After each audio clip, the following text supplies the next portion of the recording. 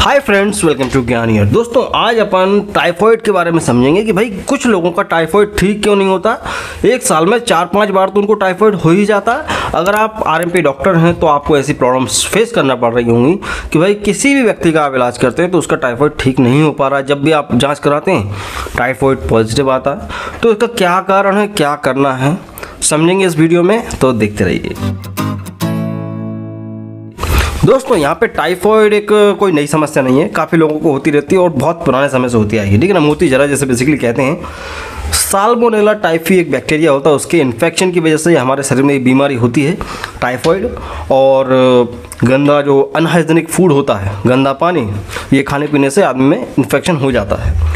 कुछ लोगों का जल्दी ठीक हो जाता है, कुछ लोगों का जल्दी ठीक नहीं हो पाता और कई लोगों का बोलते हैं कि भाई मोती जरा बिगड़ जाता है।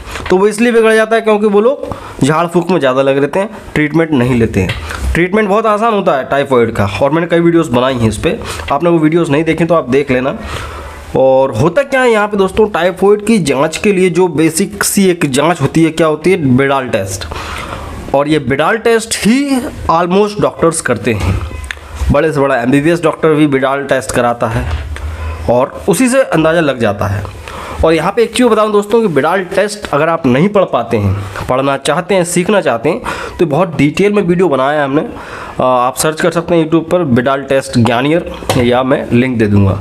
तो आप बिडाल टेस्ट को पढ़ना सीख जाएँगे।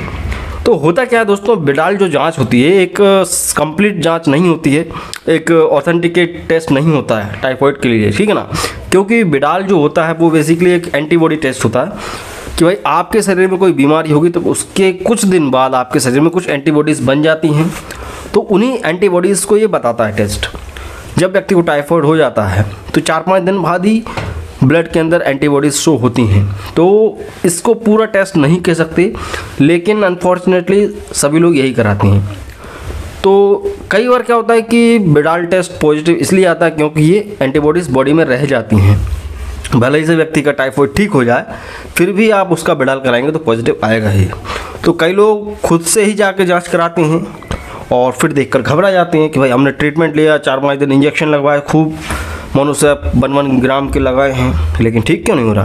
क्योंकि वो एंटीबॉडीज़ ब्लड में रहती हैं।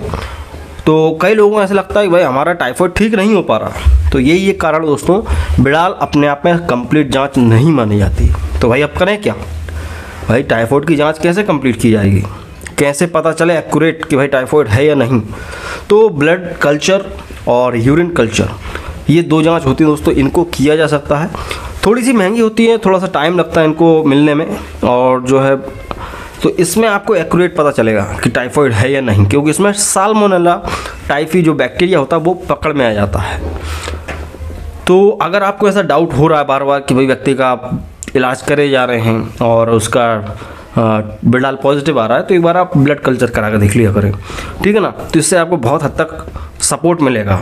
अननेसेसरी आप दवाइयाँ नहीं देंगे और अननेसेसरी आप दवाइयाँ नहीं खाएँगे। सो ये थी एक छोटी मोटी जानकारी जो कि बहुत से लोगों के मन में डाउट होता है और मुझे लगा कि वीडियो बनाना चाहिए। और वीडियो आपको अच्छा लगा है तो प्लीज़ लाइक किया करें। और अगर आप हमारे चैनल पर नए हैं तो चैनल को सब्सक्राइब करने में कंजूसी ना करें क्योंकि आप ही के सपोर्ट से हमें आप हैं दोस्तों और आप ही के डिमांड पर वीडियो लेके आता हूँ। तो मुझे मोटिवेशन मिलता है तो प्लीज़ डू सब्सक्राइब और आप देख रहे थे ज्ञानियर द मेडिकल चैनल मैं मिलता हूँ आपसे अगली वीडियो में। जय हिंद, वंदे मातरम।